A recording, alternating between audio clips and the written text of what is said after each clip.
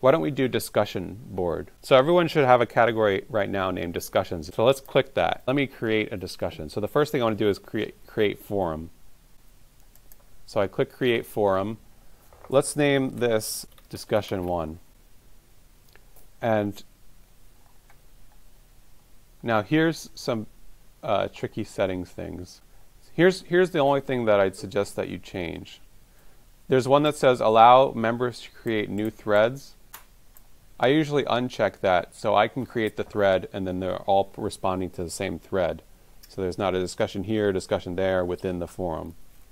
I would actually uncheck file attachments because for something like a discussion board, attaching a file is going to make the conversation less fluid going back and forth between participants. So I would uncheck that so that they have to type it in and, and everyone's response shows at once. So I'm going to click submit. So now I have a discussion, or a forum rather, but I don't have any threads. And because I said that only I can create thread, I need to create the thread. So I'll click the discussion. And then I'm going to create a thread. So let's click create thread. And you see where it says subject?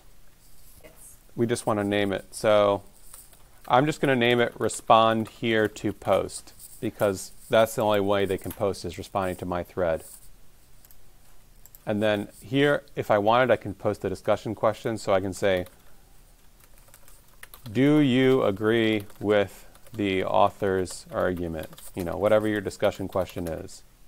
Why or why not? 250 words. And then I'm going to click submit. Subscribe to Colburn Classroom and be on the lookout for new videos.